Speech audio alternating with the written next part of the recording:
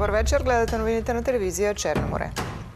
Самолет на ирландска нискотарифна компания от Мадрид за София кацна във Варна. Причината е, че машината излетява с 4 часа закъснение от испанската столица.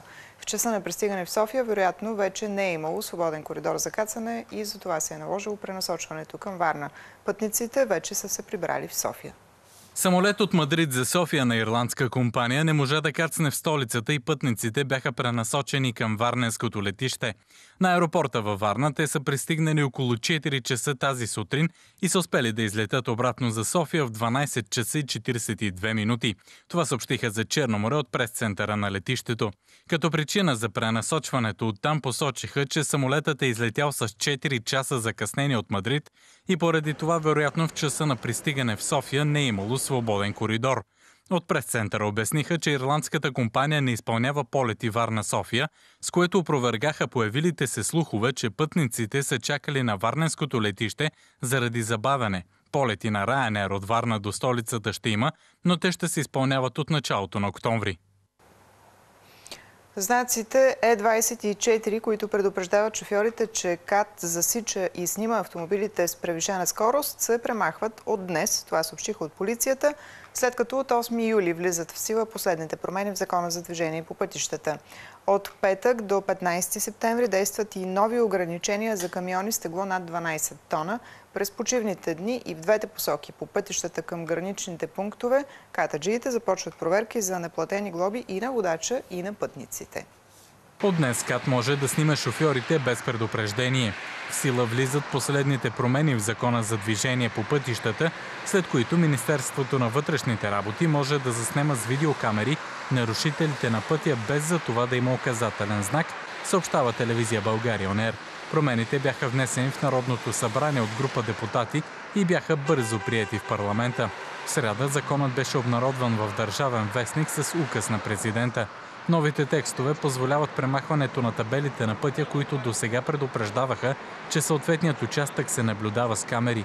Знаците трябва да бъдат премахнати от Агенция Пътна инфраструктура в следващите дни. В новите промени в закона се предвижда още да има санкция за собствениците, предоставили автомобила си за управление от водачи без книжка или употребили алкохол или наркотици. При специализирана полицейска операция служители на областната дирекция на МВР Варна задържаха четирима мъже. При извършените проверки са намерени и иззети 296 грама кокаин, 3,40 грама свежа тревиста маса, 3,66 грама суха тревиста маса и електронна везна.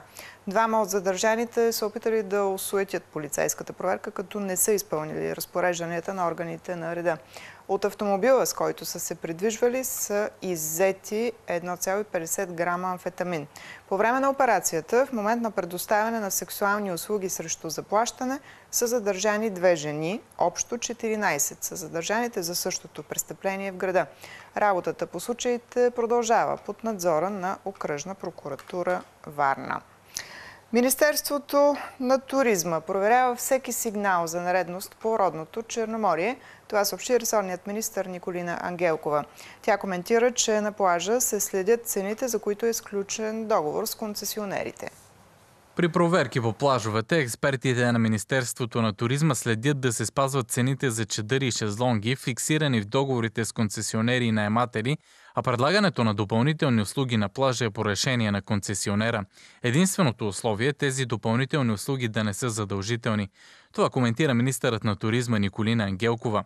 Всеки потребител сам прави избор какви плажни принадлежности са му необходими, каза още Ангелкова. Тя припомни, че от ведомството проверяват всеки поступил сигнал за нередности в обслужването или нарушения на договорите в туризма.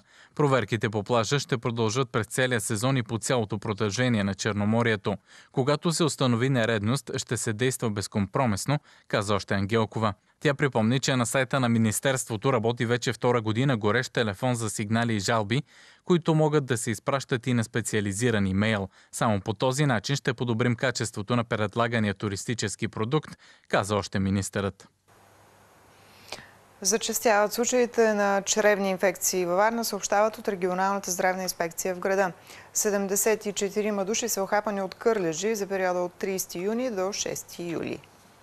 Зачестили са случаите на черевни инфекции във Варна за изминалата седмица, сочи справка на регионалната здравна инспекция в града. Регистрирани са 56 заболели срещу 35 от предходната седмица.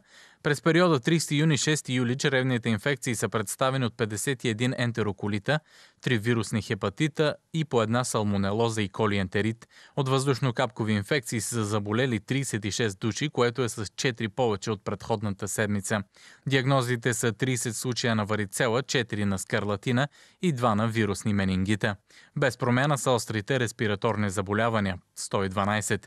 Трима души са поступили за лечение с диагноза грип в инфекциозната клиника на Университетската болница Света Марина. 74 души са охапани от кърлеж във Варна, а трима са заболели от лаймска борелиоза. В иммунизационния кабинет през отчетния период са преминали общо 29 души и са проведени 19 иммунизации.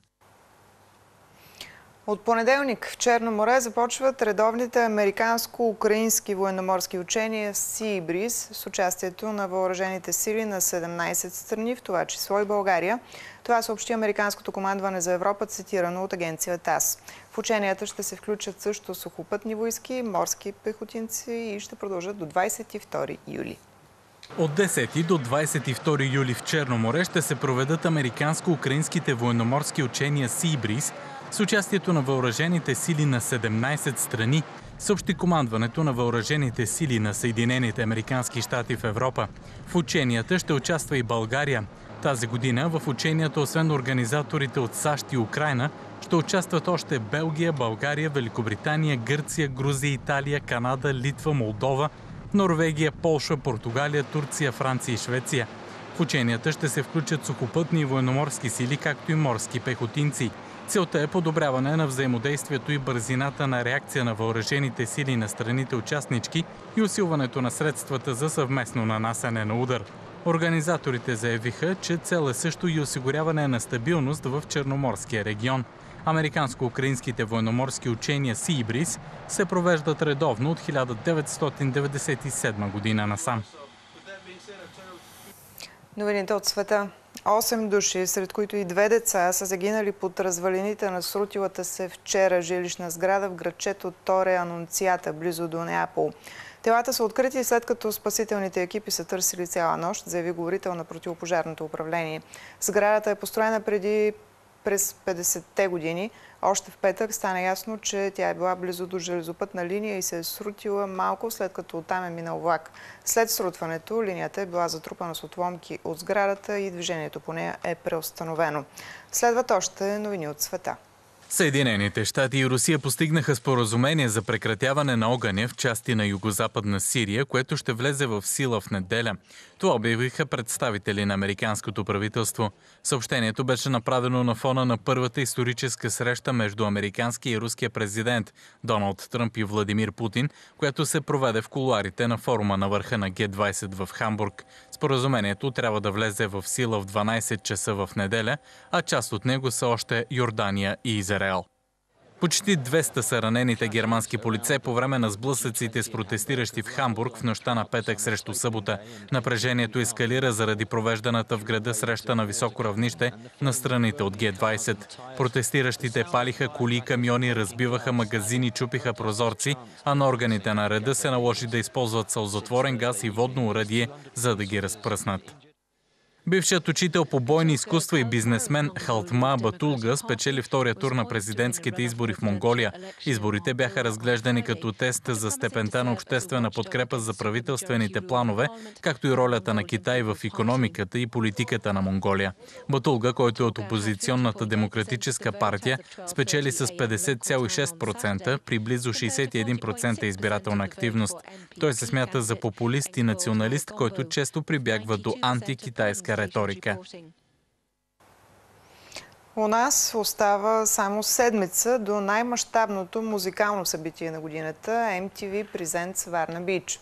Днес започнаха дейностите по сцената за голямото шоу, което ще разтърси Варна на 15 юли. До 19 юли част от свободната зона на южния плаж във Варна пред плувен комплекс Приморски ще бъде затворена. Причината е най-голямото музикално събитие в България за годината – MTV Presents Варна Бич 2017. В събота започна същинската подготовка за голямото шоу. Бяха докарани подредени преградите, а отговорниците по сцената разчертаваха терена. Само след седмица това място ще бъде пълно с хора, а от 80-метровата сцена ще звучат някои от най-големите световни хитове. MTV Presents Varna Beach 2017 ще се проведе на 15 юли. Шоуто започва още в 12 часа на обяд и ще продължи до полунощ. Най-голямата звезда, която ще излезе на сцената, ще бъде американската певица с албански корени Биби Рекса, работила с звезди като Ники Минаш, Дейвид Гета и Риана. Диджей номер едно на Съединените щати и номиниран за престижната награда Грами също ще раздвижи Варна. Това е Стив Аоки. Другите чуждестранни изпълнители са рапъра Тайни Темпа, Ред Фу, Джонас Блу, Горгон Сити, Рила Риварски и Супер Хиро Диджейс. Българските изпълнители са Варненката Дара, Полигенова, Кристиян Костов, Павел и Венци Венц. MTV ще запише едночасово шоу на живо, което ще бъде излъчено по всички водещи канали на медийната група.